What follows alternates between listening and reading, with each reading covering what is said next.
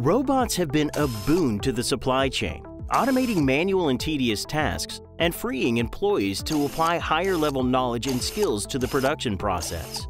Robots are widely used at DHL, and not just in our warehouses. They're also being put to good use in our transport solutions where they handle administrative and back office tasks, freeing our associates to deliver even more value to our shippers. The most recent advancement is with Robotic Process Automation, or RPA.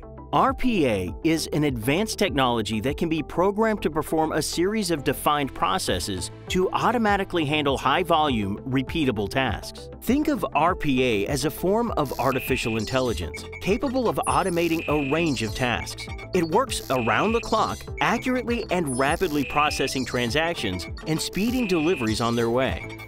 Thanks to RPA, customers with dynamic shipping requirements, like delivering materials to a worksite, can expect more reliable deliveries.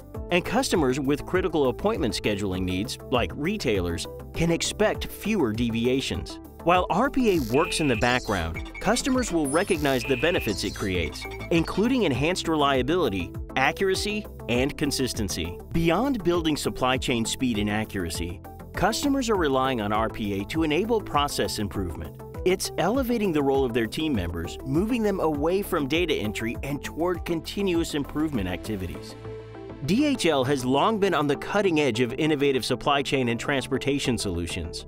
RPA is the latest tool that enables us to enhance our transportation solutions and think beyond today's shipment for our customers.